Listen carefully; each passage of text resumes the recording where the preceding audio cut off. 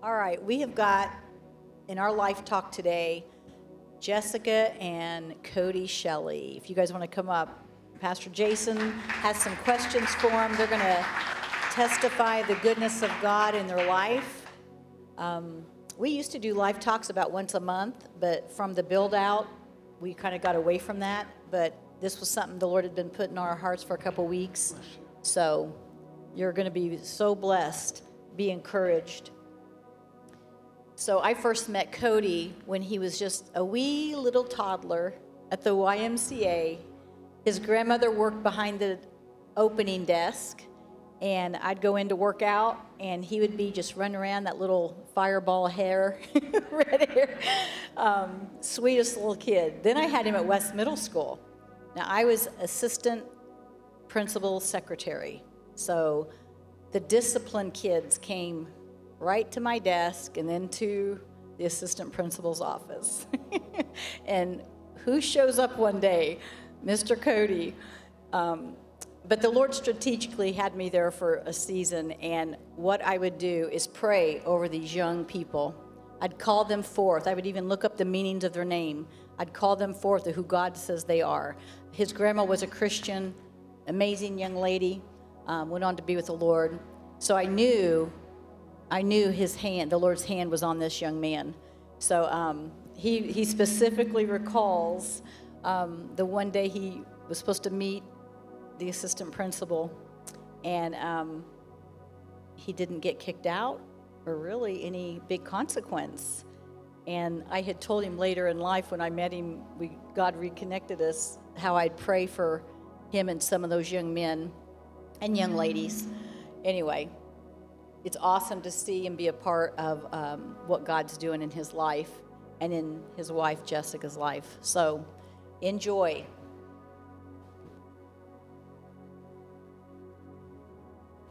Good morning, good morning, good morning. Hallelujah. Guys, it is so good to be here with um, Jessica and Cody this morning. Um, you know, I, you know, some of my testimony in my life, you know, of dealing drugs and just doing things in the world, you know, and living the world and having four dads by the time I was 16, you know, and a lot of you have been through things in life that have, that have, could have taken you down a road or has taken you down a road that has just basically destroyed your life, but God. But God grabbed a hold of you, just like He grabbed a hold of me to change me, to change my lifestyle and how I. And I come to a point in my life where um, I just had this crossroad and I had to make a decision what I wanted to do in life, whether I wanted to um, do what's right or not. And I remember that first, Cody, I remember that first stepping stone when, when I was getting in trouble all the time. I was married at the time and, and, and um, had one child. And I remember that I saw these police officers arresting this young man, and, and I thought, for the first time in my life, I thought, I want to be on that side of it. I want to, I want to, I want to be the one chasing people and not the one being chased, you know. And because I, I was chased so many times, I hid so many times, and they didn't catch me so many times. And um, so I was just so grateful for, for that. And you know, when I met Cody, that was where he was. He was running, running, running from God. The bicycle that's over there is what I saw him on, that, that always on the bicycle. And he used that bicycle to run drugs um, throughout Martinsville. And so he's going to take the bicycle to the scrapyard, I think, tomorrow and or whenever it's open again and scrap that thing and uh, get a little bit of his money back. But I'm just grateful for you, Cody and Jessica, for what God is doing in your life. So I want to ask a few questions this morning, um, and I know that it's going to be deep, and, and, and uh, Shelly, we might need some Kleenexes up here um, because I know I probably will be crying.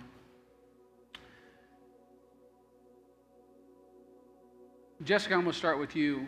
Um, what is one of your what is one of your worst worst moments in, in your life that I mean I know you've got a lot of things that have happened in your life, but what what are one of the worst moments that you have uh, battled with um, before you met Cody outside of relationship with Cody? Um, I was on meth with an ex, and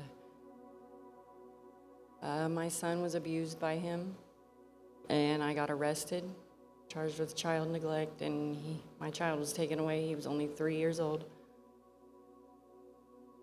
Yeah. So so she was in a situation where she had this young three-year-old child, and and this man had abused the child, had had neglected the child, and she was strung out on drugs to the point that she couldn't intervene, and so she got the child taken away from her. And and that's what drugs will do to you. It'll, it take sin will take you further than you ever ever want to go. You know, it'll take you those places you don't ever want to go, and. Um, and so, Jessica, God is, I want you to know this morning, God, and God is going to redeem those things in your life. God is going to redeem the things that were stolen from you, that the enemy stole from you. All of it's going to be redeemed. I want you to know that this morning.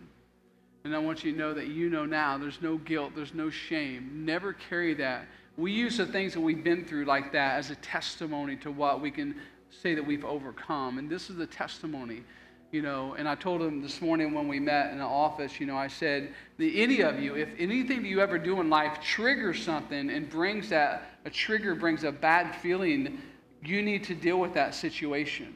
Because those triggers, we need to turn those triggers into testimonies. Those triggers will become a point of joy and happiness, and they'll like, I went through that, but God brought me through it, and I'm here now. And that's what triggers will do turn into testimonies of what God can do. And so, Cody, uh, one of your one of your darkest moments. Hold the mic up so we can. Is it on? There, it's on. One of mine is uh, I lost my son AJ. He was eight. I put drugs in the vehicle for my ex to go to Georgia, and they ended up. She ended up killing both of them when she was shooting up and driving. So.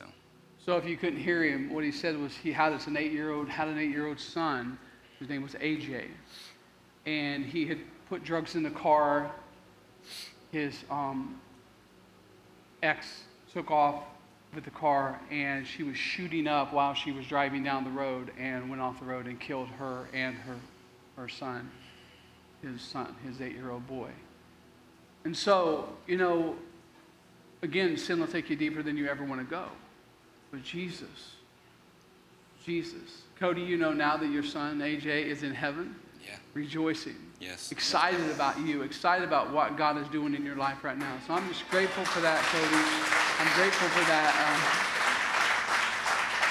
Um, just that, just that time that you got to spend with him, the time that you got to spend with, with AJ. What what precious time. We hold on to those times, those moments, those memories that we got to um, have them. And again, no guilt, no shame should come to you. That's from the enemy. That's not from God at all. None of it is ever from God.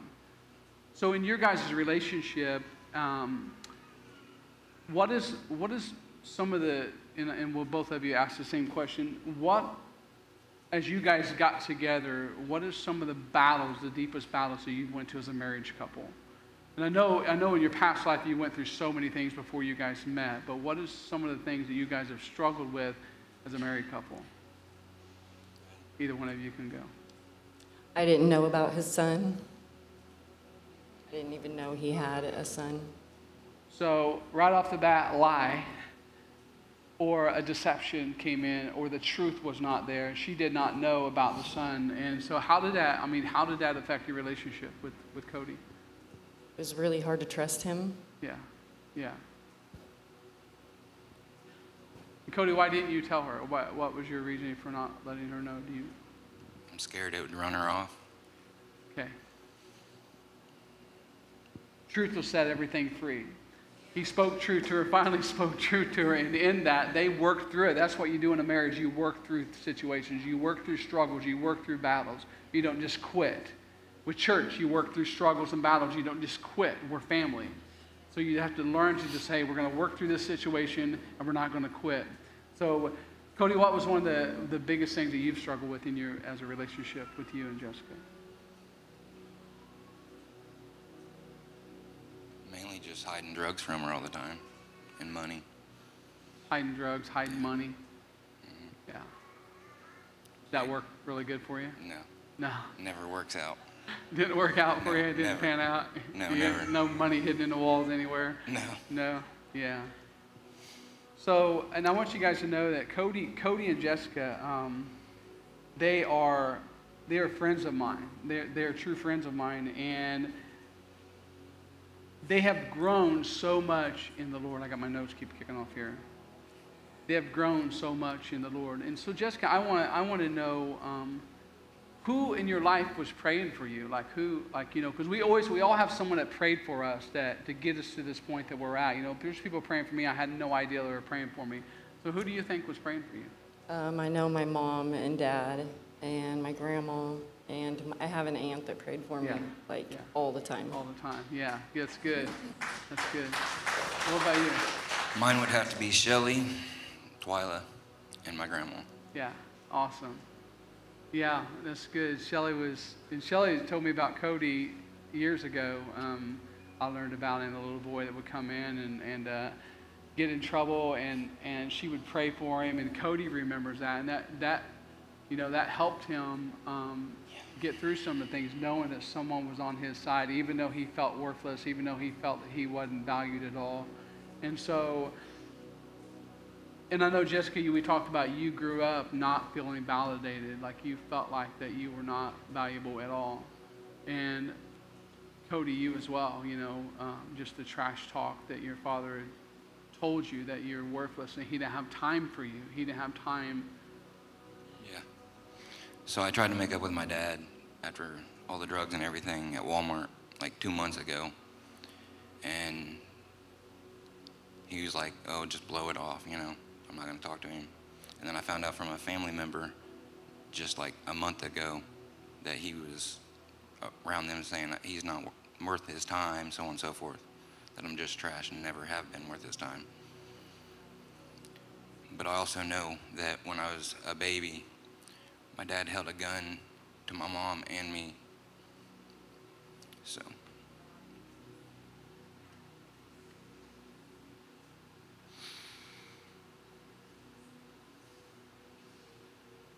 So when you pray for someone, I want you to know it, it's effective. Continue to pray for the ones you love. Continue to pray for your sons and daughters. It's effective. You might not be seeing the result of it right now, but, but the result will come. The result will come. The prayer of, the Bible says the prayer of a, the fervent prayer of a righteous man will availeth much. Your prayers will avail much, and the prayers that were prayed over these two people availed much. And so we're just excited about it. Shelly, do you have something you want to say? My wife is, I told you she should sit up here. You want to stand up behind me? Or you want to sit in this seat here? Come here. Here, come here. You say. Okay, I want to just add this real quick. So, um, and I don't know what his notes say, but um, so I believe a year ago, this past June, is when we started seeing a lot of life change happen in Jessica and Cody. And I want to back up even a few months, about, about four months, about four months before that, we had our Miss Linda Schatz. You want to raise your hand? Linda felt impressed by the Holy Spirit to go sit in another part of our sanctuary in the other building. So this is this is intercession. She didn't know why. She said, "I feel the Lord saying to go sit over here." And so she sat there for months. And look who walks in the door, and they sat right in front of her every week. She didn't know them. I mean, obviously, she introduced herself, but she prayed for them. She'd pray for them throughout the week. There was always prayer going on for these two through Linda. Linda may not be the only one that has experienced this, but I, I had to share the power of intercession is great. And when the Lord puts somebody on your heart, just be obedient to what it is.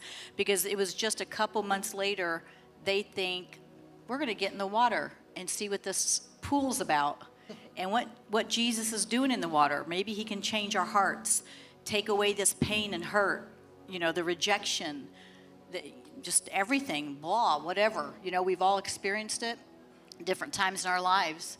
So they get in the water, and it was amazing. they kept getting in the water. They went to counseling. They were encouraged by other believers. Um, they consider Linda their mom or grandma. You know, she just loves them.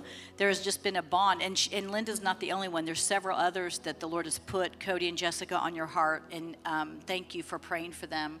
It has really, truly been amazing to see in one year your life change that's happened. And, and again, healing is a process. It's the miracle that's instant, which you've all probably experienced things in the water that have left you, is why you're not selling drugs and running that bike, because it's not in you anymore. Jesus, you died well. Pastor Todd Smith says, die well. So they left their junk in the bottom of that pool, and Jesus resurrected life within them. Wouldn't we agree? Yeah. And not only life, but restoration. There are things being restored within both of them that were lost or stolen. And that's just the wonder works of the Lord, that his outstretched hand of deliverance totally turned lives around. And that is what we have seen with Jessica and Cody.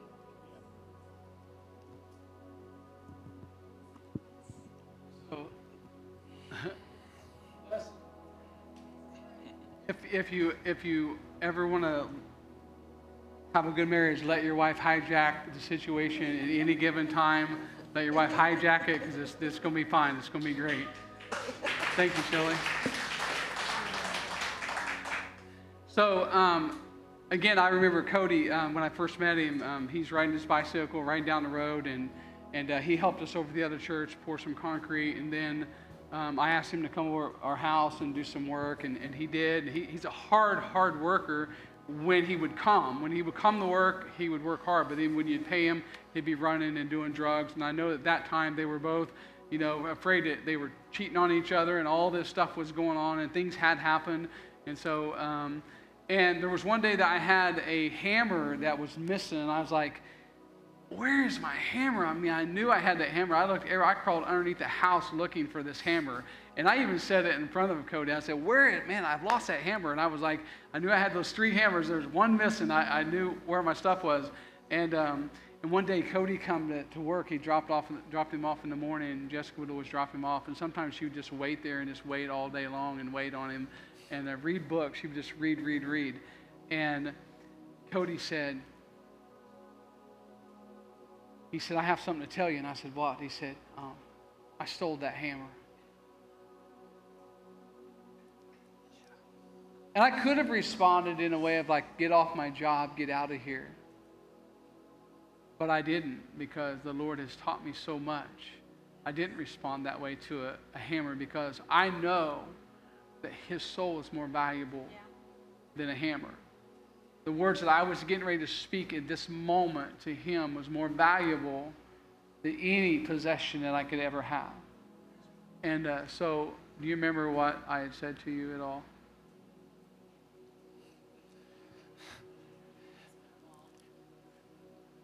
Give me the hammer. It's okay. I love you. I forgive you. Now get to work. Just took the hammer back and just said, let's, let's get back to work. You know, um, and that's what we have to do in life, guys. We have to remember not to hold anything against anybody, you know, at all. It doesn't matter what they've done to us. Forgiveness is what we're called to do, is forgive other people for the wrongs they've done to us, even though they hurt. Some hurts are so deep. I know, Jessica, some of the hurts that you've had in life of, of just the words that were spoken onto you that you have no value. And we break that off right now in Jesus' name because you're full of value. And God's got so much in store for you, so much in store for you. And Cody, you know, your dad's saying that, you know, I, I just don't have time for that. It's just a worthless situation. That's no truth in that. There's no truth in that because you have value. I know you guys are still struggling with some stuff. I know you guys are still struggling with vaping. I know you're still struggling with smoking. So are you, you okay with vaping and smoking? Are you guys good with that or? No. Not at all. Yeah. Yeah. We were smoking in our house, and then Jason couldn't come in because he don't like the smell of smoke. So I'm allergic to smoke. I used to smoke, but I, I'm allergic to it now. so it hurt Years us ago. badly that we couldn't have him come in our house. So we just stopped smoking in our house. And we've cut back like a lot. A lot. Yeah. Yeah, so so they're on the path. They don't they don't, they feel like they shouldn't be doing it because they know it's an addiction. They know they the, some of the stuff that they're drinking too, some of the monster drinks that they're drinking, they feel like that's an addiction because they can't quit. Anything you can't stop doing is an addiction. It doesn't matter what it is. If you if you if you if you're chocolate hungry all the time and you have to have chocolate to, to, to not be mad, you know, just, you know, I have to give her a Snickers bar every now and then. It's like, just here, just eat this, it's gonna be good.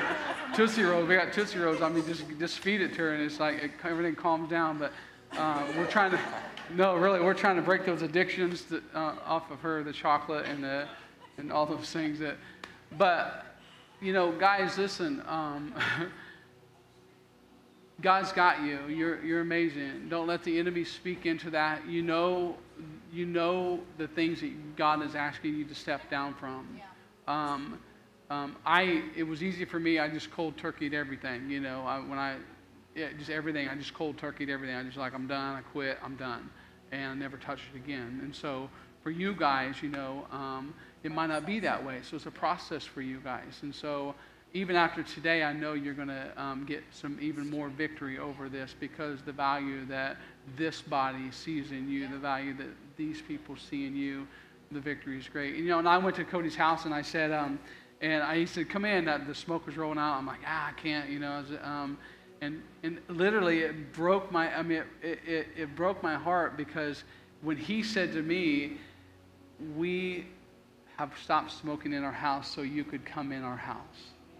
I went in their house the other day, man. It smelled great. It was clean. It was nice, and I loved it. So I could go visit them now, and and uh, and so thank you guys for honoring me with that, and thank you for honoring the Lord, Lord with that. So. Shelley has something else to say. Well, what I wanted to share, and I assume you're going into this. Yeah, don't yeah don't step into my. I won't grounds, step okay? in. Okay, so, It's all good. Well, it's part of it. No, it's Okay, not. you start. Yeah, you start what? What? We're not even there yet, Shelley. It's my questioning. We're not even there.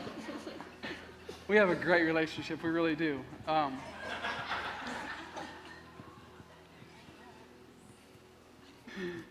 uh, so you guys, and we'll go. We'll, we'll go into that now because we got 15.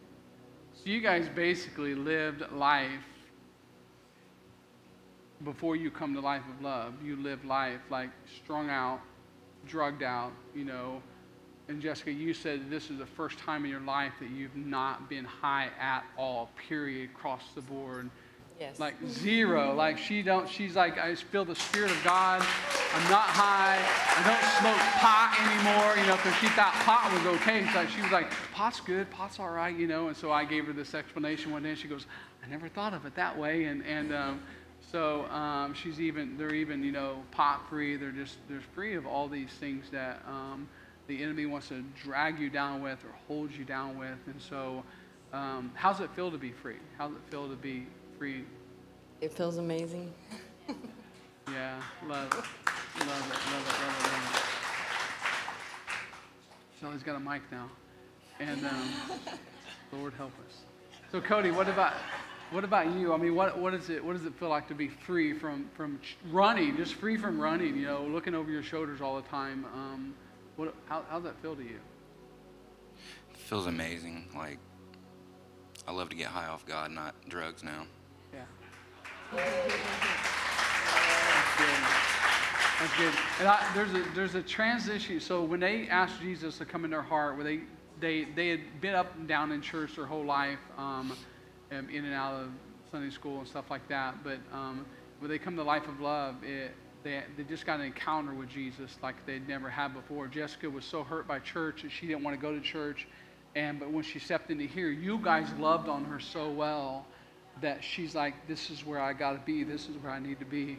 And, um, and I want to talk about your, your guys' finances because I know you guys were like living with your mother, living with your mom, and you know, you got kicked out of where you were living with your mom and got her kicked out of the place as well Because I was selling drugs. because you were selling drugs. And so, um, So they had nowhere. They were homeless for a while, living out of their car. I mean, this van that he was using stickers to cover up the um, scratches on the van and stuff like that. And it was just, I mean, it was, it was loading it. I remember Cody always had the van loaded with scrap. I mean, there was always scrap in the van. I mean, like loaded down. I mean, he was like, want scraps? He's like, yeah, I mean, I I'm scraping for pennies. And he would like just take every little piece of aluminum or anything from the church and just like, um, he piled it up and went and got a couple dollars for it, you know. And, uh, and so, but you guys, a while back, you guys had taken a challenge that, um, and we're going to offer it. We're going to offer it again to you guys today. That's why we're taking offering last because I want you to know the impact. Um, this is God's guarantee. They took this guarantee, and um, and I'll let you read it, Shelley, since you're already here. Hey, it says, am I on? She on? Can you hear me? Can you hear me now? No, you don't. There's no button to turn this one on. This is. Okay, test. Nobody can hear me? Nope. Okay. Honor the Lord with your possessions and with the first fruits of all your increase. Proverbs 3 9. So last year around this time, Pastor Jason did a four week teaching on the principles of giving. And this is a money back guarantee. And these little guarantee cards are sitting at each black table with the wooden bowls. It's a money back guarantee. So like anything So you is- pour into this, Yeah. it's if it's money back This guarantee. is what he challenged everybody. If you commit to bring your tithe, which is 10% of your income, to Life of Love Ministry Center as a means of tithing to the Lord each week for 90 days, the Lord will bless you. However, at the end of the 90 days, if you have not been blessed or become worse off financially or think it was a mistake, Life of Love will refund 100% of the money you gave. Pastor Jason Abney. So the card says, I already tithe 10% of my income. I will begin to give 10% to Life of Love, and I will take the challenge to begin to tithe to Life of Love. So these are the so- three little challenges that Yeah, you so could if you take the challenge, I, I, I, I, my promise right now on live, live camera, if you take the challenge and you do not get blessed and you, your finances don't increase, things don't change in your life financially, I, we will personally give you 100% back of your money that you pour into it. It's So a gonna- guarantee. Like I'm it's a, share. It's a, it's a, three months. Do it for three months and watch. What the Lord watch what happens. Let, let, we're gonna let them share. Are you gonna Yeah, share? no, I want to share not only about your tithe, share that, how you started, but then what happened in your life with your living situation, your car situation, all the above. There's several other things. I mean, it's been a 180 change in every aspect of their life. what you started out doing and where you are today even what financially um, giving and your income this th- larry this is this is this is almost a week the next very next week this stuff started happening Oh, he wasn't working when we first started it, so it was only my income, and we was only given like five or ten dollars. and then his boss hired him back to his job, so then he had income too. So we started increasing it, and we've gotten our own apartment and a new vehicle. It's just, and we're never broke, like we used to be broke all the time like scraping pennies, like you said. But now we always have money. yeah so they were so co- yeah so, We're beyond blessed, like you say that. yeah so We're beyond blessed. They're beyond blessed. So Co- Cody w- was running around dealing drugs while she was trying to work a job. They were both still um, in and out of, of this lifestyle, and they said, "We're going to make this challenge. We're going to take this challenge." And I remember they didn't want to live, you know, with mom because they wanted to be on their own. And uh, you know, Cody, it was a rough situation for him and Jessica's mom. And now Jessica's mom loves him and honors him, and because they she sees what he's done in in in their life and how he's changed her life, and so they went from like riding that bicycle. I mean, I remember riding, even even back in front here. Cody's walk is even different. If you knew his walk then, how he actually walked is different now than he walked then. Because God changes it. Old things pass away, all things become new. And that's what the Lord says. all things become new. When you come to Christ and your life is not changed for the better, you probably didn't come to Christ because old things will pass away and all things will become new if you really, really want and seek after heaven and seek after God. And I know that um, that you guys were living out of your car, kind of, you know, and um, and they went from. I mean, just a week later, they went from this change, this this like metamorphosis that happened in your life. They started out. What did you guys start out? Do you remember what you started out giving to the church? Like five dollars. Like five dollars. They started out giving five dollars, and then it went from five to whatever else it went to, and then whatever else. And so, where are you guys at today, like in your giving? Well, I want to add. So, you know, we always pray over the offering. We always have. We've always been appreciative if it's a dime given. Yeah. Because it, it, to us it has never mattered what the people give. It's just that you're obedient to what the Lord is saying to give is the key.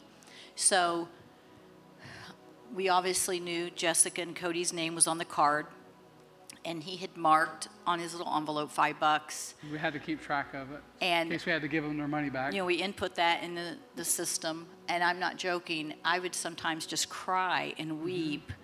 Because week to week to week to week, it just kept growing and growing and growing. And then they got their apartment that they didn't think they could get. Yep. Then they end up getting a different vehicle. And all along, they're still raising their giving.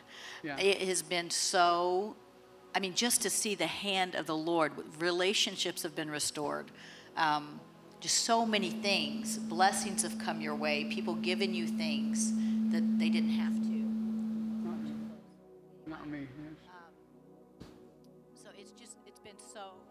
It's been so cool seeing just the whole transformation process and, and being this close to it. It's just such a blessing and encouragement. Yeah, so it's really cool. So, um, and I know that um, as we had to monitor that for the 90 days, they went from $5 to, listen, in 90 days to giving $100.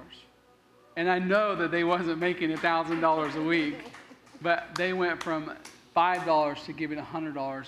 And what, she, what you guys said to me in the, in the, in the room, that they have money left over. They used to go from day to day to week to week, and they have money left over each week that they have extra money left over every week now, more and more and more and more. So they're, they're getting ready to start a savings account to start saving money.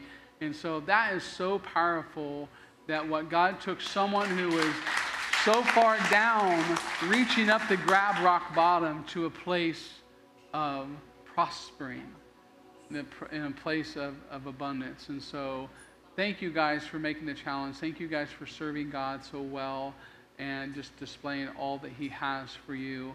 Um, and what we're going to do right now, um, the enemy's not going to steal this moment. So, we're going to have Randy come up and we're going to have um, Shelly and I. Faye, if you come up here for a minute, and, and we're just going to pray over. Um, over these two that the enemy's hearing what we're saying. He's gonna he's trying to make plans already to come and destroy what we just said, um, all the schemes that he does. And so we just we're just gonna we're you guys can come up here. We're just gonna pray over them. Carlene, you can come up as well. I'm sorry I didn't. Um, Linda, Linda, come up here. Um, we're gonna we're gonna pray over them that God is going to just encounter them even more. The Lord has so much for every one of us. If you've been through this in life, if you've been through these kind of things in life, if you've been through these struggles and battles, God has so much for you. He wants so much for you. He desires, his heart's desires that none perish, that all make heaven.